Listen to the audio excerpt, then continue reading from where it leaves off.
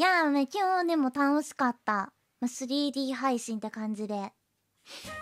あー、今日起きたらさ、足も腕も痛いんやけど、あのあれで、筋肉痛で、筋肉痛で全身痛くてさ、はしゃぎすぎた。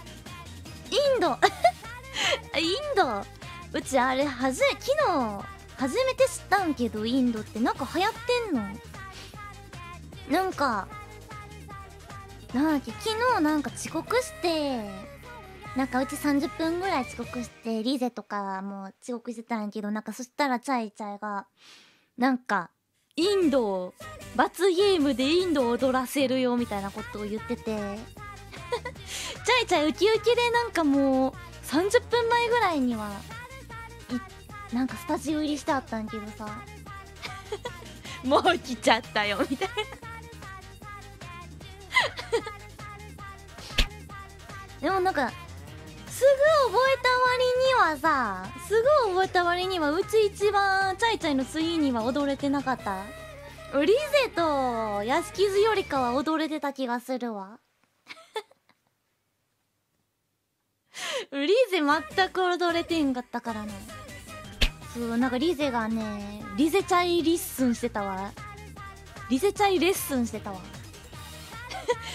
どうやるんすか？みたいなそこにうちも混ざってレッスンしてた。どんくらい練習 ?23 回じゃない？そんな練習仕込むようなやつじゃないやろあれ。そんな何回も重ねてうまく頑張るもんじゃないやろ。昨日大人2人やばかったな。チャイチャイはなんか怒られてたし屋敷図物破壊しまくってたし。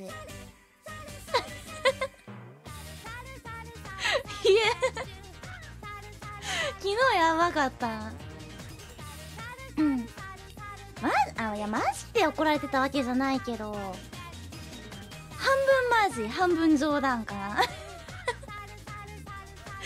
なでもガチで何やってんすか？みたいなんではない。まあでもなんか多分屋敷図疲れてんだよ。多分。え偽ビリビリペンのリアクション。あうちうまかったでしょ。ね最近なんだろう。昨日の配信とかウェバーガチャの収録とかしてても思うんだけど屋敷図多分疲れてる。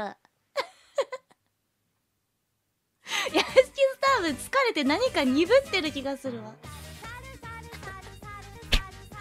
あの社長のモノマネ社長のモノマネちょっとおもろすぎたね。ちょいろんな人の社長のモノマネが見てほしいわ。見てもらいん見て見たいわ。ちょっと流行ってほしいな。これから 3D お披露目する人社長のモノマネを絶対にやってやらなきゃいけない。社長の足蹴り上げを絶対やらなきゃいけないっていう決まりを作ってほしいわ。これよくないですか？そんなそんなよくないですか？すごくないですか？言ってたっけあの人。でもなんかわかるのわかるわ。